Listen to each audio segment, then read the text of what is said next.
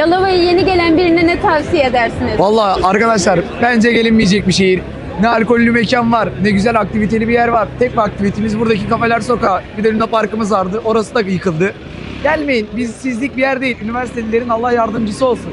Mümkünse Arapça öğrenin ve gelirken de girmeyin. Yanından geçin, İdo'ya gidin, İstanbul'a geçin ama girmeyin. Herkese çok çabuk güvenmeyin. Bir de Fatih Caddesi çok takılmayın. Full Arap dolu. Tabelalar bile Arap. Bu kadar. Ee, kimseye güvenmeyin ve kafer sokağında sokmayın kendinizi. gelmemesini.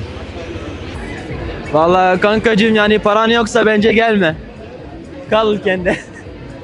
Kafelerden uzak durmasını. gelmesin. Çünkü çok küçük. Herhangi bir aktivite yapacak yer yok. İnsanları sıcakkanlı değil. Çok Suriyeli var. Gelmesinler.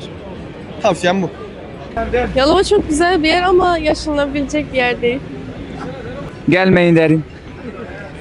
Gelip gezmelerini, görmelerini isterim. Çok güzel yer, sakin. Yani yaşanılacak bir yer. Ben yeni geldim, tavsiye ederim.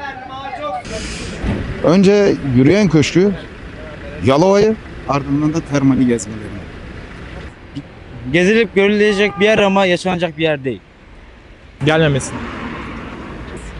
Ee, gezilebilecek yer ama yaşanacak bir yer değil çünkü çok pahalı bir yer. Kızların uzak dursunlar öncelikle. Kızlar biraz belalı. Kaveler sokağına falan gidebilirler yani rahat.